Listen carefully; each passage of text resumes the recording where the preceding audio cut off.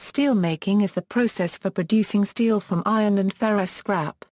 In steelmaking, impurities such as nitrogen, silicon, phosphorus, sulfur and excess carbon are removed from the raw iron, and alloying elements such as manganese, nickel, chromium and vanadium are added to produce different grades of steel.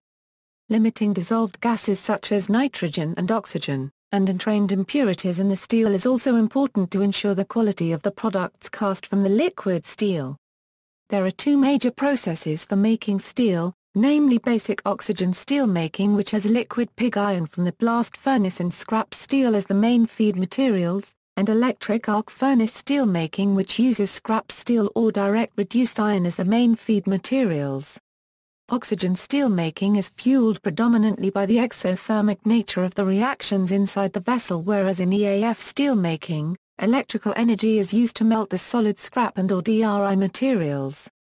In recent times, EAF steelmaking technology has evolved closer to oxygen steelmaking as more chemical energy is introduced in the process. History Steelmaking has played a crucial role in the development of modern technological societies. Cast iron is a hard brittle material that is difficult to work, whereas steel is malleable, relatively easily formed and a versatile material. For much of human history, steel has only been made in small quantities. Since the invention of the Bessemer process in the 19th century and subsequent technological developments in injection technology and process control, mass production of steel has become an integral part of the world's economy and a key indicator of technological development. The earliest means of producing steel was in a bloomery. Early modern methods of producing steel were often labor-intensive and highly skilled arts.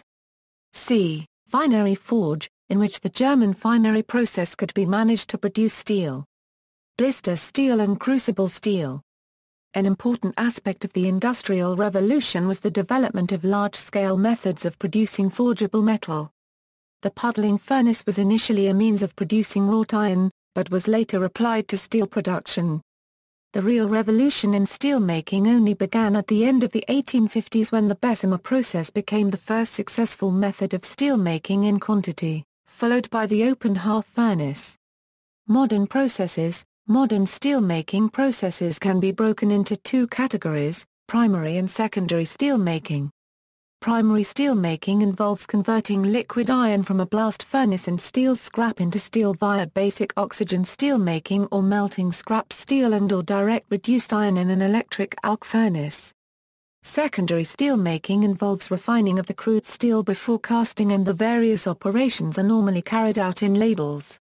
In secondary metallurgy, alloying agents are added, dissolved gases in the steel are lowered, inclusions are removed or altered chemically to ensure that high-quality steel is produced after casting.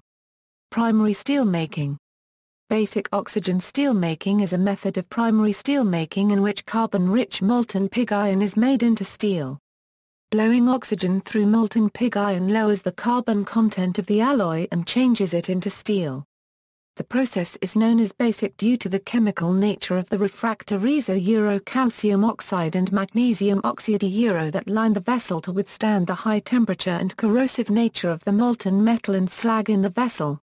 The slag chemistry of the process is also controlled to ensure that impurities such as silicon and phosphorus are removed from the metal. The process was developed in 1948 by Robert Durrer and commercialized in 1952 a Euro 53 by Austrian VOEST and AMG. The LD converter, named after the Austrian towns of Linz and Donawitz is a refined version of the Bessemer converter where blowing of air is replaced with blowing oxygen. It reduced capital cost of the plants, time of smelting, and increased labor productivity. Between 1920 and 2000, labor requirements in the industry decreased by a factor of 1,000, from more than 3 worker hours per ton to just 0.003. The vast majority of steel manufactured in the world is produced using the basic oxygen furnace. In 2011, it accounted for 70% of global steel output. Modern furnaces will take a charge of iron of up to 350 tons and convert it into steel in less than 40 minutes, compared to 10 a euro 12 hours in an open hearth furnace. Electric arc furnace steelmaking is the manufacture of steel from scrap or direct reduced iron melted by electric arcs. In an electric arc furnace, a batch of steel may be started by loading scrap or direct reduced iron into the furnace, sometimes with a hot heel. Gas burners may be used to assist with the meltdown of the scrap pile in the furnace. As in basic oxygen steelmaking, Fluxes are also added to protect the lining of the vessel and help improve the removal of impurities. Electric arc furnace steelmaking typically uses furnaces of capacity around 100 tons that produce steel every 40 to 50 minutes for further processing. Byproduct gases from the steelmaking process can be used to generate electricity through the use of reciprocating gas engines. Secondary steelmaking, Secondary steelmaking is most commonly performed in ladles and often referred to as ladle. Some of the operations performed in ladles include deoxidation, vacuum degassing, alloy addition, inclusion removal, inclusion chemistry modification, desulfurization and homogenization. It is now common to perform ladle metallurgical operations in gas-stirred ladles with electric arc heating in the lid of the furnace. Tight control of ladle metallurgy is associated with producing high grades of steel in which the tolerances in chemistry and consistency are narrow. HIsarna steelmaking The HIsarna steelmaking process is a process for primary steelmaking in which iron ore is processed almost directly into steel. The process is based around a new type of blast furnace called a cyclone converter furnace, which makes it possible to skip the process of manufacturing pig iron pellets that is necessary for the basic oxygen steelmaking process. Without the necessity for this preparatory step the HIsarna process is more energy efficient and has a lower carbon footprint than traditional steelmaking processes.